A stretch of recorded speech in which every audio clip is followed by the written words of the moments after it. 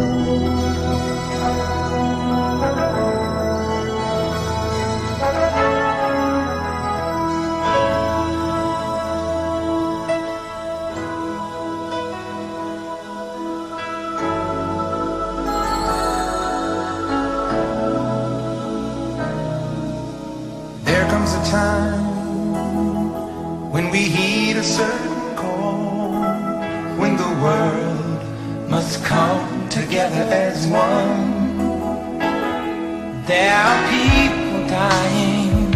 Oh, when it's time to lend a hand to life, the greatest gift of all.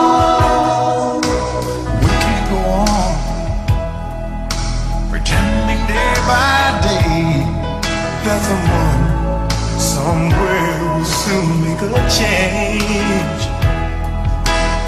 All a part of God's great big family. And the truth, you know, love is all we